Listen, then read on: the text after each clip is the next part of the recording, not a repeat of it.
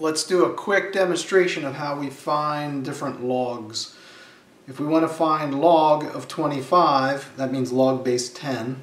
There's a log, dedicated log function. It's shift, and then here the square button, log 25. I don't need to put the other parenthesis. I can just hit execute. There you go, 1.39.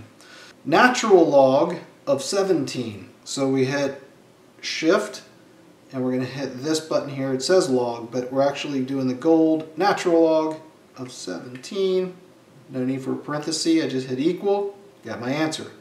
And lastly, let's do log base 5 of this number. This dedicated key here, log base, so it starts on asking what base. We hit 5.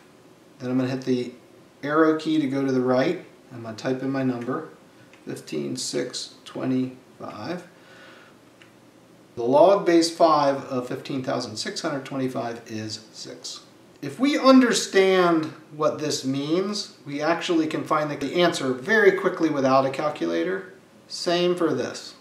We will do shift, hit the squared button, that gives me the log, which is log base 10 of 10. And I hit this key here, to the third. I don't need to hit the parentheses, I could just hit equals 3.